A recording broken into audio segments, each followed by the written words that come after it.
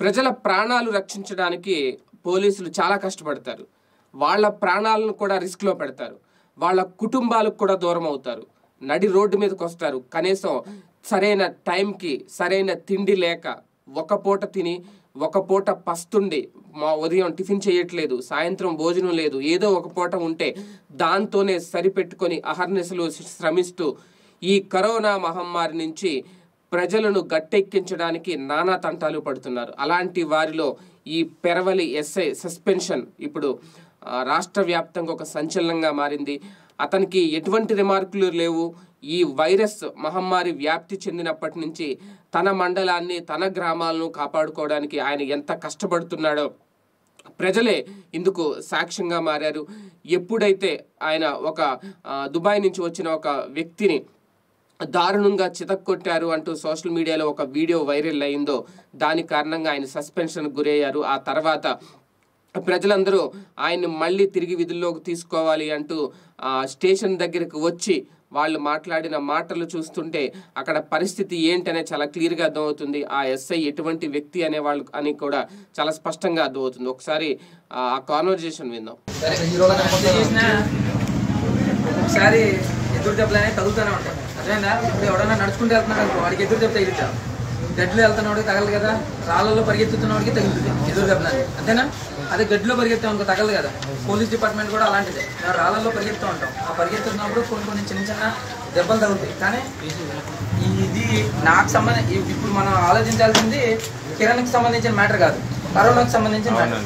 So దయచేసి మీరు అందరూ కూడా నన్ను ఎవరైతే అభిమానిస్తానికి వచ్చారో మీరు అందరినీ నేను చేతులు ఎత్తుకొని కోరుకునేది ఏంటంటే ఈ కరోనాకి మీరందరూ వ్యతిరేకంగా పోరాడండి అంతే. మీ మీ వాడల్లో కానీ మీ గ్రామాల్లో కానీ సో నాకు తెలిసి ఇదే విధంగా రేపటి నుంచి ఉంటుందని నేను అనుకోను. మీరందరూ మీరందరూ దయచేసి రోడ్ల మీదకి రాకుండా మీ వీధిలో మీ మీ వీధుల్లో ఎవరిని బయటికి రానివ్వకుండా అవసరాల కోసం ఖచ్చితంగా రావచ్చు. దానికి మనం టైమింగ్స్ కూడా ఇచ్చాం. ఉదయం తొమ్మిది గంటల వరకు పది గంటల వరకు కూరగాయలు ఒంటి గంటల వరకు కిరాణా ఆరు గంటల వరకు పాలు తొమ్మిది గంటల వరకు మెడికల్. సో ఈ అవసరాల కోసం మనం టైమింగ్స్ ఇచ్చాం. ఆ టైమింగ్స్ ప్రకారం అవసరం ఉన్న రావచ్చు. అలాగే రైతులు రైతు వారి కానీ ఫుడ్ ప్రొడక్ట్స్ కానీ వాటిలో ఏది కూడా దానికి డిస్టర్బెన్స్ లేకుండా ఇండివిజువల్గా వెళ్ళి చేయి చేయి డిస్టెన్స్ మెయింటైన్ చేస్తూ అన్ని పనులు చేసుకునేలాగా ఏర్పాట్లు చేశాం. సో అది ఏదైతే ఉందో దాన్ని ఫాలో అవుతూ అది మీ విలేజ్లో అవేర్నెస్ ఇప్పుడు నా కోసం చేయండి. అర్థమైందా? నా కోసం అంటే నన్ను సస్పెండ్ అయిపోయానన్న బాధతోనో లేకపోతే నన్ను మళ్ళీ తిరిగి తీసుకురావాలనే దానితో దానికోసం కాకుండా కరోనాకు వ్యతిరేకంగా నా కోసం చేయండి. అంతే నేను మీ నుంచి కోరుకునేది మీరు అందరూ సపోర్ట్ చేయడానికి నాకు వచ్చినందుకు వద్దు అలాంటి ఏం చెప్పొద్దు దయచేసి.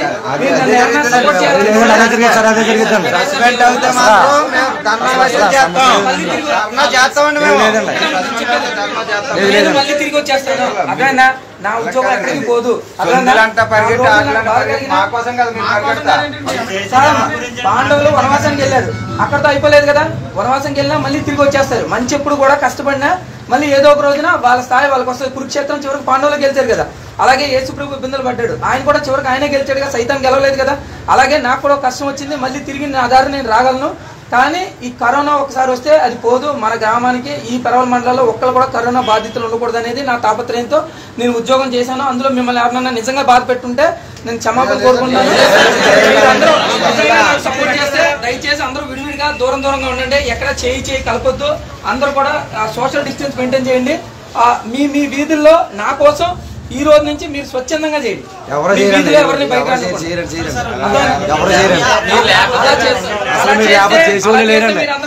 కాదు. ఇప్పటికే ఇది ఎక్కేసారండి జనం. ఇప్పటికి ఇది ఎక్కేసారు. మేము మీ వెనకాల నడుచుకుంటామండి కంట్రోల్ చేసుకుంటాం సరే మీరే లేకపోతే ఇంకా ఎలా చేస్తామండి ఒకటే కిరణ్ అనేవాడు ఉండకపోవచ్చు కానీ పోలీస్ అనేది ఎప్పటికీ ఉంటది మీ వెనకే ఉంటది పోలీస్.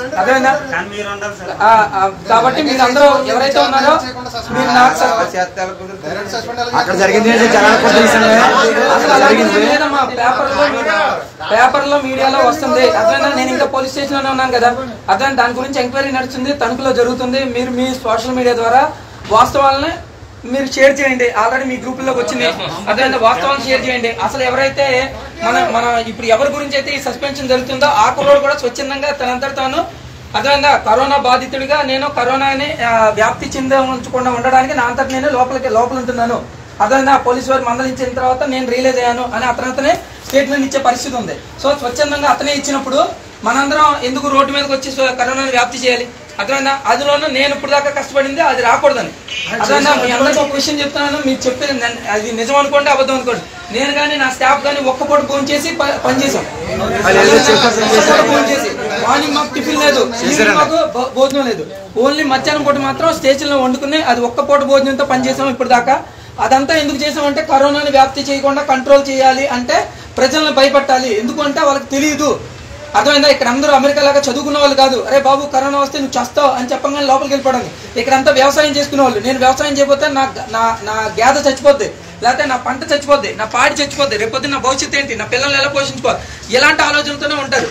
అలాంటి వాళ్ళకి నచ్చ చెప్పాలి భయపెట్టాలి ఏది సాధ్యపడితే అది చేసాం అదంతా మేము చేసింది కేవలం కరోనా అని మన మన మనలో ఒక్క కరోనా పాజిటివ్ కేసు కూడా రాకూడదని అవసరం మీ అందరికీ తెలియదు నూట తొంభై వరకు కి సంబంధించి విదేశాల నుంచి వచ్చిన వాళ్ళు ఉన్నారు మన మండలంలో హైయెస్ట్గా అతి ఎక్కువ మంది మన మండలంలోనే ఉన్నారు. ఇంతమంది ఉన్నారు కాబట్టి ఇది చాలా గట్టిగా చేయాల్సి వచ్చింది. కాబట్టి వాళ్ళు ఎవరిని బయటికి రానివద్దు అలాగే మీరు కూడా బయటికి రావద్దు. సోషల్ డిస్టెన్స్ మెయింటైన్ చేయండి. నాకు సపోర్ట్ చేయాలనుకున్న వాళ్ళందరూ త్రూ సోషల్ మీడియా చూసారుగా నాకు తెలిసి ఏఎస్ఐ కోసం ఇంతమంది అంటే వాళ్ళకి వాళ్ళు ఇండివిజువల్గా వచ్చిన వాళ్ళు. అక్కడేమి ఆయన ఒక రాజకీయ నాయకుడు కాదు ఒక ఎమ్మెల్యే కాదు ఒక ఎంపీ కాదు. ఒక ఎస్ఐ ఒక పోలీస్ స్టేషన్లో విధులు నిర్వర్తిస్తూ తన పరిధిలో ఉన్న ప్రజలను కాపాడుకోవడానికి ఒక బాధ్యత గల వ్యక్తిగా ఒక బాధ్యత గల అధికారిగా వాళ్ళందరికీ సేవలు అందిస్తున్న వ్యక్తి. అందుకే ప్రజల్లో అంత మార్పు వచ్చింది. జరిగిన విషయం ఏంటి అనేది ప్రజలకి సగమే తెలుసు. మిగిలిన అక్కడ అసలు ఏం జరిగింది? ఆ వ్యక్తి దుబాయ్ నుంచి వచ్చి అతను క్వారంటైన్లో ఉండమన్నా సరే ఉండకుండా బయట తిరుగుతూ ప్రజలను భయభ్రాంతులు గురి చేస్తున్న టైంలో మందలించే ప్రయత్నంలో ఆయన కొంచెం దూకుడుగా వ్యవహరించారే తప్ప వాళ్ళిద్దరికీ ఎటువంటి వ్యక్తిగత విభేదాలు వ్యక్తిగత దే ద్వేషాలు లేవు. ఎందుకంటే ఇప్పుడున్న సిచ్యువేషన్లో ప్రాణాలే పోతున్న పరిస్థితిలో నాలుగు దెబ్బలు కొట్టినంత మాత్రాన అది పెద్ద నేరం ఏం కాదు అనేది అక్కడ ప్రజలు చెబుతున్నమాట సో ఈ ఎస్ఐ గారు అయితే చాలా మంచి వ్యక్తి అని చెప్పి ప్రజలందరూ అంటున్నారు. ఆల్రెడీ ఆయన మీద సస్పెన్షన్ కూడా ఎత్తివేశారు అనే వార్తలు కూడా వినిపిస్తున్న నేపథ్యంలో మరి ఇటువంటి ఘటనలు రిపీట్ కాకుండా చూసుకోవాలి అంటే ప్రజలు సహకరించాలి పోలీసులకు ముందు. ఈ వీడియో గనుక మీకు నచ్చినట్లయితే లైక్ చేయండి షేర్ చేయండి. మరిన్ని వీడియోస్ కోసం మా ఛానల్ను సబ్స్క్రైబ్ చేయండి.